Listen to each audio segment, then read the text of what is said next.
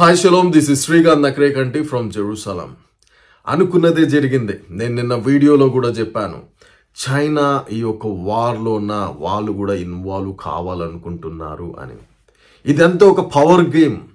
ఎవరు గొప్ప ఎవరు పెద్ద ఎవరు బలవంతులు అని నిరూపించుకునేటువంటి ప్రయత్నము. అటు అమెరికా ఇటు రష్యా ఇటు చైనా. సో వాళ్ళు కూడా ఆ పార్ట్ కావాలి. ఇజ్రాయలీ జెరూసలేం పార్ట్ అందరికీ కావాలి. ప్రపంచంలో. ఎక్కడో మూలకున్నటువంటి దేశం కూడా దీంట్లో ఒక పార్ట్ తీసుకోవడానికి ప్రయత్నం చేస్తూ ఉంటాడు అనమాట అందరికీ ఇది కావాలి భూమి. ఒక ప్రత్యేకమైన భూమి. అయితే చివరికి షీ జింగ్పింగ్ నిన్న ఈజిప్ట్లో అబ్దుల్తో కలిసినాడు. అక్కడ ఉన్నటువంటి ప్రెసిడెంట్తో కలిసినాడు. అసలు చైనాకి ఏం అవసరము? ఈ మిడిల్ ఈస్ట్లో జరుగుతున్నటువంటి వార్తోటి చైనాకి ఏం అవసరము? చైనా ఎవరికి సపోర్ట్ చేస్తున్నది? పాలస్తీనాకు సపోర్ట్ చేస్తున్నది. చైనాకు ఇజ్రాయెల్తో కూడా సంబంధాలు ఉన్నాయి చైనా ఇజ్రాయెల్తో క్లోజ్గా ఉండాలని చాలా కాలంగా ప్రయత్నం చేస్తున్నది. చైనా స్ట్రాటజీ ఎట్లాగుంటుంది అంటే అటు ఇరాన్తో మంచిగా ఉంటుంటుంది ఇటు రష్యాతో మంచిగా ఉంటుంది ఇటు ఇజ్రాయెల్ కూడా కావాలంటుంది ఇటు పాలస్తీనాకు కూడా సపోర్ట్ చేస్తుంటుంది. అంటే ఎందుకు ఇప్పుడు పూర్తిగా పాలస్తీనాకు సపోర్ట్ చేస్తున్నది అంటే అమెరికా ఇజ్రాయెల్తో నిలబడ్డది కాబట్టి. Simple simple equation. అమెరికా ఇజ్రాయెల్తో నిలబడ్డది. అదేవిధంగా రష్యా అదేవిధంగా ఇరాన్ ఇజ్రాయెల్కి అగెన్స్ట్గా ఉన్నది కాబట్టి రష్యా నుంచి వాళ్ళు మెయిన్గా ఆయిల్ని తీసుకుంటారు. ఈ యొక్క అరబ్ కంట్రీస్ నుంచి మెయిన్గా ఆయిల్ని కొనుక్కుంటారు కాబట్టి వాళ్ళ ఫేవర్ కావాలి కాబట్టి పలస్తీనాకు సపోర్ట్ చేస్తున్నది. అయితే ఈ యొక్క జింపింగ్ నిజంగా ఎందుకు ఈ వార్ను ఆపాలని అంటున్నాడు? అదేవిధంగా చైనా బీజింగ్ ఫారెన్ మినిస్టర్ ఏంటంటే మన ఇస్లామిక్ జిహాదీలు చేసినటువంటి దాడి హాస్పిటల్ పైన జరిగినటువంటి దాడిని ఖండిస్తుంది. అది ఇజ్రాయెల్ చేసినట్టుగా మాట్లాడుతున్నాడు. అంటే ఈ అరబ్ దేశాలందరికీ తెలియదా? ఈ దాడి ఎవరు చేసినారో అరబ్ దేశాలకు తెలియదా? యుఎస్ నేషనల్ సెక్యూరిటీనే చెప్పింది కదా ఈ దాడి ఇజ్రాయెల్ చేయలేదు ఈ దాడి వాళ్ళే చేసుకున్నారు అని చెప్పినారు. బైడెన్ ఒక అమెరికన్ ప్రెసిడెంటే చెప్పినాడు కదా. Israeli president American president agencies అన్నీ చెప్పినాయి కదా. ఇంత టెక్నాలజీ ఉన్నప్పుడు ఈరోజు ఇన్ని అరబ్ దేశాలు ఈ అబద్ధాన్ని నమ్మి ఇజ్రాయెల్కి అగెన్స్ట్గా ఏకం కావాలని ప్రయత్నం చేస్తున్నాయి. సరే మంచిది. కానీ ఈరోజు ఈ చైనా ఇన్వాల్వ్మెంట్ ఈ వార్కి ఏమాత్రం మంచిది కాదు. ఎందుకంటే చూడండి ఎలాంటి ఈవిల్ కంట్రీస్ ఒకటవుతున్నదో మీరు చూడండి. చైనా రష్యా ఇరాన్ ఇలాంటి దేశాలు అన్నీ ఒకటైనాయి.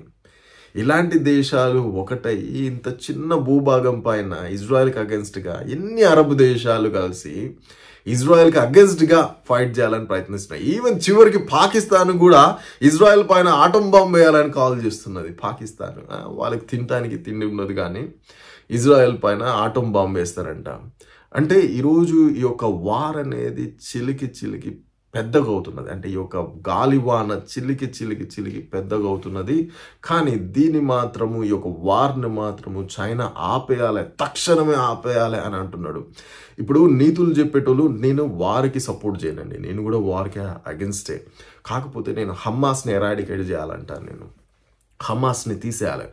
పాలస్తీనా గాజా ప్రజలు వేరు హమాస్ వేరు. దీన్ని సౌదీ అరేబియాలో ఉన్నటువంటి ప్రిన్స్లు జోర్డాన్లో ఉన్న వాళ్ళు చాలా మంది ఖండిస్తున్నారు కానీ మూర్ఖులు మన ఇండియాలో ఉన్న వాళ్ళు దాన్ని గ్రహించలేకపోతున్నారు. ఒరేయ్ హమాస్ వేరు గాజా ప్రజలు వేర్రా బాబు. గాజా ప్రజలకు నేను కూడా సపోర్ట్ చేస్తా. అక్కడ చాలా మంది అమాయకులు ఉన్నారని వందల సార్లు నేను చెప్పినాను. వినరు కింద వచ్చి నన్ను తిడతారు. శ్రీకాంత్కు రక్తం మారాలి శ్రీకాంత్కు వాళ్ళు చచ్చిపోవాలి. నేను ఎవ్వరు చచ్చిపోవాలని కోరుకోనరా బాబు. నేను ప్రజలను ప్రేమిస్తా. నేను చిన్నపిల్లలను ఆడపిల్లలను అందరిని ప్రేమిస్తాను. కానీ తీవ్రవాద భావజాలం ఉంటే వాళ్ళని మాత్రం నేను ప్రేమించలేను ప్రేమించను కూడా. ఎందుకంటే ప్రేమిస్తే ఏమవుతుందంటే వచ్చి వాడు గన్ను పెట్టి కాల్చి పసిపిల్లలను చంపుతాడని నాకు ఫస్ట్ నుంచి తెలుసు. So those are my values first of all అయితే ఈ వార్ని ఎందుకు చైనా ఆపాలనుకుంటుందంటే చైనా అంతటా వెళ్ళి నీతులు చెప్తున్నది. కానీ పక్కనున్న తైవాన్ ఆక్యుపై చేయాలని చూస్తుంది. త- పక్కనున్నటువంటి హాంకాంగ్ ఆక్యుపై చేయాలని చూస్తుంది. అదేవిధంగా టిబెటన్లు కొన్ని సంవత్సరాలుగా దశాబ్దాలుగా వాళ్ళని ఒత్తి పెట్టేస్తున్నారు. భారతదేశంలో అరుణాచల్ ప్రాంతంలో వాళ్ళు మ్యాప్లో భూభాగాలను మార్చుకుంటారు. కానీ ఈరోజు ఏదో పాలస్తీనాకు జరిగిపోతున్నది అని సొల్యూషన్ గురించి మాట్లాడుతున్నారు. అంటే టూ స్టేట్ సొల్యూషన్ అంటే ఈ ప్రాంతం ఎప్పుడు కూడా స్టెబిలిటీ లేకుండా ఉండాలి. ఎందుకంటే ఈ గాజా ప్రాంతాన్ని ఇచ్చింది రెండు వేల ఐదులో దేని గురించి ఇచ్చినారు? పీసీ గురించి ఇచ్చినారు. ఈ ప్రాంతం ఎక్కడ ఉండేది? Beautiful place Gaza. Gaza strip అనేది ఇజ్రాయెల్లో ఉన్నటువంటి one of the beautiful place అన్నమాట. ఆ బ్యూటిఫుల్ ప్లేస్ని తీసుకెళ్ళి వీళ్ళకి ఇచ్చింది దేని కొరకంటే పీస్ వస్తుందని. ఈ ప్రాంతంలో అందరూ సైడ్ బై సైడ్ కలిసి వీళ్ళు మాట్లాడే మాట ఇదే. సైడ్ బై సైడ్ కలిసి ఉండాలి చాలా పీస్ఫుల్గా ఉండాలి చాలా వండర్ఫుల్గా ఉండాలి అని ఆ ప్రాంతానికి ఎన్నో బిలియన్స్ ఆఫ్ డాలర్స్ ఇచ్చినారు. ఒకవేళ ఇన్ని ఆంధ్రప్రదేశ్కి ఇస్తే ఆంధ్రప్రదేశ్ని నాలుగు ఐదు సార్లు డబుల్ బిల్ట్ చేసుకునేటోళ్ళు తెలంగాణ కంటే గొప్పగా. అన్ని డబ్బులు ఇచ్చినారు. కానీ ఆ డబ్బులన్నీ ఎక్కడికి పోతున్నాయి? ఆ డబ్బులన్నీ రాకెట్లు చేసి ఇజ్రాయెల్ మీదకి పంపిస్తానికి వాడుకుంటారు కనీసము వాళ్ళు వాటర్ సిస్టమ్ను హాస్పిటల్స్ను పిల్లలకి ఎడ్యుకేషన్ను కూడా బిల్ట్ చేసుకోలేనంత స్థితి. ఓస్లో అగ్రిమెంట్లో మెయిన్ ఏంటంటే ఈ ఓస్లో అగ్రిమెంట్ జరిగిన దాంట్లో పాలస్తీనాకు ఈ గాజా ఏరియాకు వాళ్ళకి ఇచ్చింది దేని గురించి అంటే పీస్ఫుల్గా ఉండడానికి. అది ఒక ట్రై. ట్రై చేసినారు. ఒకవేళ పీస్ఫుల్గా ఉంటే టూ స్టేట్ సొల్యూషన్ ఏర్పడేదేమో రెండు స్టేట్స్కి ఉండేదేమో. కానీ ఆ చిన్న స్టేట్ ఇస్తేనే ఆ ప్రాంతం ఇస్తేనే వాళ్ళకు వాళ్ళ అంటే ఓన్ అథారిటీ ఇస్తేనే ఈరోజు ఇన్ని బాంబులు వేస్తూ ఉన్నారనమాట ఇన్ని బాంబులు వేసి కొన్ని వేల బాంబులు ఇప్పటికి ఎనిమిది వేల పైగా బాంబులు వేసినారు. రాకెట్లు వేసినారు. ఈరోజు వాళ్ళు బాంబు వేయకపోతే ఇజ్రాయెల్ వేయదు కదా ఎప్పుడు? ఈరోజు వాళ్ళు ఇక్కడ వచ్చి మా పిల్లల్ని చంపకపోతే మేము వాళ్ళ దగ్గరికి పోయి బాంబులు వేసేటోళ్ళం కాదు కదా. కానీ అన్యాయం ఎవరు మాట్లాడరు అనమాట అయితే ఈరోజు చైనాకు ఏంటంటే ఈ వారు ఇట్టి పరిస్థితుల్లో జరగకూడదు. ఒకవేళ జరిగితే చైనాకు చాలా నష్టం. ఎందుకు చైనాకు ఈ వార్ నష్టం అంటే వాళ్ళకు ఎకానమిక్గా చాలా లాస్ జరుగుతుంది. ఎందుకంటే మిడిల్ ఈస్ట్ నుంచి China per day ten million barrels ఆయిల్ని కొనుక్కుంటుంది. అదేవిధంగా వాళ్ళు బెల్ట్ అండ్ రోడ్ ఇనిషియేటివ్ అని ఒక ప్రాజెక్ట్ కన్స్ట్రక్ట్ చేస్తున్నారు. చాలా పెద్ద ప్రాజెక్ట్ అన్నమాట. దీంట్లో ఆల్రెడీ సుమారుగా ఎయిటీన్ టు నైన్టీన్ కంట్రీస్ దీంట్లో సైన్ చేస్తున్నాయి అనమాట దాంట్లో వెస్ట్ ఏషియా కంట్రీస్ అదేవిధంగా నార్త్ ఆఫ్రికన్ కంట్రీస్ ఈ యొక్క ప్రాజెక్ట్లో వీళ్ళు సైన్ చేస్తున్నారు. ఒకవేళ ఈ యొక్క వార్ గనక పెద్దగా అవుతే ఏమవుతుందంటే ఈ ప్రాజెక్ట్ మీద ఎఫెక్ట్ చూపిస్తుంది. ఈ ప్రాజెక్ట్ మీద ఎఫెక్ట్ చూపిస్తుంది అదేవిధంగా ఆయిల్ ప్రైసెస్ పెరుగుతాయి. అది ఒక చైనాలోనే కాదు ప్రపంచవ్యాప్తంగా పెరుగుతాయి. ఎందుకంటే పెట్టుకుంటున్నది ఆయిల్ ఉన్నటువంటి దేశాలతోటి. ఆయిల్ ఆయిల్ ఆపేస్తే ప్రపంచ దేశాలకు ప్రభావం చూపిస్తుంది. సో సేమ్ అదే ఇరాన్ కూడా ఇజ్రాయెల్కి ఆయిల్ ఆపాలంటుంది. సో మేము వాళ్ళ దగ్గర ఆయిల్ ఏం కొనుక్కునేది లేదు కానీ వేరే దేశాలను అడుగుతున్నది. కానీ దీంట్లో ఆశ్చర్యం ఏంటంటే ఇరాన్ను చూసి సౌదీ అరేబియా భయపడుతుంది.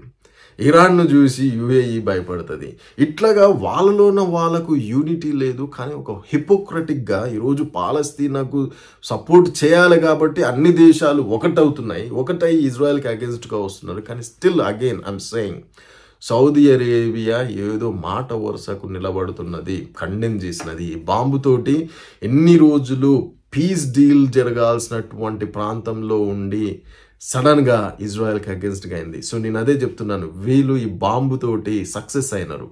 ఇంతమంది పిల్లలను ఇజ్రాయిలీస్ను చంపి హమాస్ అనుకున్నది వాళ్ళు నెరవేర్చుకున్నారు. మెయిన్ సౌదీ అరేబియా ఒకవేళ ఇజ్రాయెల్తో ఉంటే వాళ్ళు ఏమి చేయరండి? ఇదంతా ఆగిపోయినట్టే. అందుకని ఈరోజు వాళ్ళు ఈ యొక్క పనికి పూనుకున్నారు. ఏదేమైనా కానీ ఈ యొక్క చిన్న దేశంలో ఎన్ని దేశాలు ఇన్వాల్వ్ కావడము చాలా భయంకరము. అయినా రష్యా లాంటి పెద్ద పెద్ద దేశాలు అంటే వీళ్ళ దగ్గర పెద్ద పెద్ద ఆటం బాంబ్స్ ఉన్నాయి. ఈ ప్రాంతం ఎంత ఇంత ప్రాంతము? అంటే సిచ్యువేషన్ అనేది కొంచెం సీరియస్గా మారుతున్నది. ప్రతి రోజు రోజుకి మారుతున్నది. సో ఈ యొక్క వార్ ఒకవేళ చైనా కూడా ఇన్వాల్వ్ అయ్యి రష్యా కూడా ఇన్వాల్వ్ అయ్యి ఇదంతా ఇన్వాల్వ్ అవుతాయి. వార్ పెద్దగా అవుతుంది.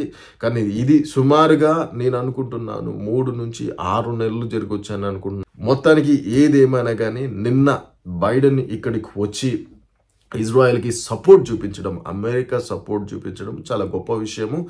అదేవిధంగా చైనా కంటే ముందుగానే బైడెన్ రావడం అది చూపిస్తున్నది. ఏంటంటే ఇది ఒక పవర్ గేమ్ సో మిడిల్ ఈస్ట్లో తమ పట్టును ఎవ్వరూ కోల్పోవాలని వాళ్ళు అనుకోవట్లేదు అనమాట